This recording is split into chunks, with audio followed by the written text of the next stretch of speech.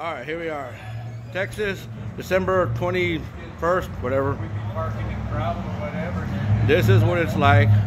There's mine with the lights. To have friends and go riding and drinking and enjoying the evening and Christmas